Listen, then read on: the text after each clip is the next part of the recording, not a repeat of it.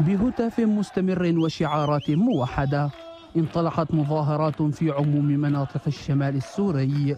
ضمن جمعة أطلق عليها الناشطون اسم ثورة لكل السوريين. رفعت شعارات تنادي بوحدة الشعب السوري ووحدة المطلب بإسقاط النظام والوقوف مع المحافظات السورية كافة.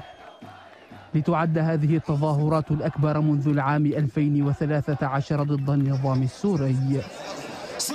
إنه اجينا اليوم حتى نتضامن مع أخواتنا السائرين في المناطق المحتلة. إنه أخواننا في الجنوب إنه بجبل العرب بالسويدة بحوران بالمناطق الثانية حلب حما وحتى نقول له إنه نحن معهم نحن وياكم إيد واحدة وانه الثوره لكل السوريين. حراك يقول الناشطون إنه جاء في الوقت المناسب. وقت يعاني فيه النظام السوري من أزمات اقتصادية خانقة وانهيار مستمر لليره السورية.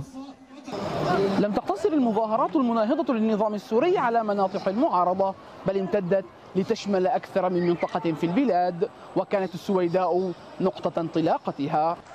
لقرابة أسبوع يتظاهر أهالي السويداء بهتافات الثورة الأولى.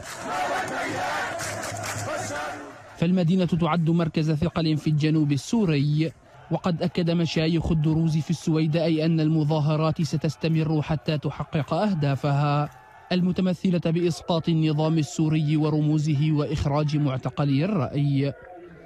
في حين انضمت جارتها درعا ودير الزور والحسكة وحلب إلى ركب الحراك معلنة ثورة جديدة على خطى ثورة 2011 وللمرة الثانية شرارتها من الجنوب السوري. خالد إدلبي العربي شمال سوريا.